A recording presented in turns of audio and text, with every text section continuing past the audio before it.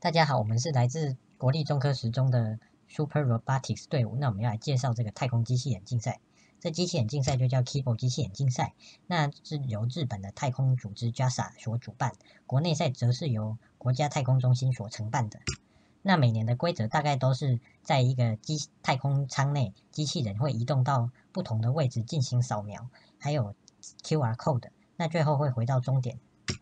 那竞赛方式，国内初赛是在竞赛的系统模拟器中执行。那最高分代表国家则可以把城市传到太空的真的机器人里面进行。那这是台湾的这个奖金，那每年的奖金都很丰富。今年还有分初级组跟进阶组，有时还会有这个厂商赞助。那这个奖品很丰富哦，大家来参加。